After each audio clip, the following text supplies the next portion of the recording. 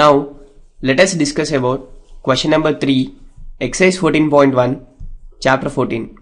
In a quadrilateral ABCD, CO and DO are the bisectors of angle C and angle D respectively. Prove that angle COD is equal to half times sum of angle A and B. Now moving on to solution. Let us consider the quadrilateral ABCD and here CO is the bisector of angle C and DO is the bisector of angle D. So here we can say that O is a common point of intersection of both the bisectors.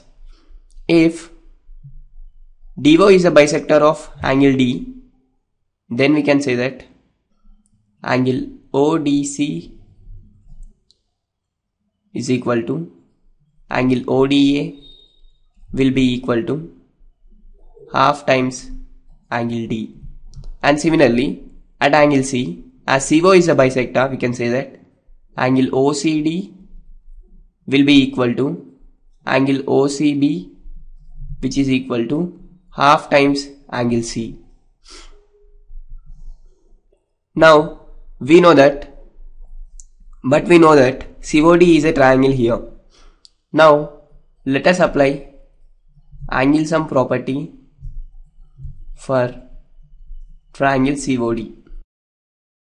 We know that by angle sum property in triangle COD, sum of angles is equal to 180 degrees which implies that angle ODC plus angle OCD plus angle COD is equal to 180 degrees which implies we know that angle ODC is equal to half times D plus angle OCD is equal to half times C plus angle COD is equal to 180 degrees which implies that angle COD is equal to 180 degrees minus let us send this half angle C and half angle D to right left right hand side. Then we get half times angle C minus half times angle D which is equal to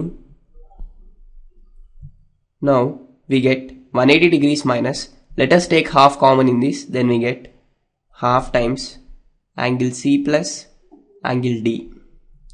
Let this be as equation number 1 now let us apply the angle sum property in the quadrilateral by applying angle sum property in this quadrilateral we get sum of angles in the quadrilateral is equal to 360 degrees.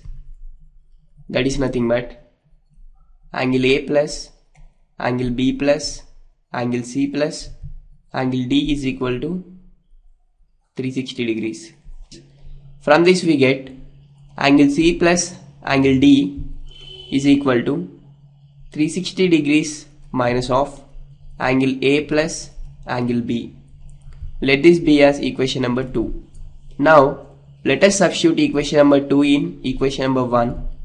Then we get angle COD is equal to 180 degrees minus half times instead of angle C plus D let us replace it by 360 degrees minus angle A plus angle B which is equal to 180 degrees minus half times 360 degrees. And minus of minus is nothing but plus angle A plus angle B which is equal to here half times 360 degrees is nothing but 180 degrees. So 180 minus 180 is nothing but 0 so we are left out with angle A plus angle B. Therefore, finally we can say that angle COD is equal to angle A plus angle B. This is for the required solution.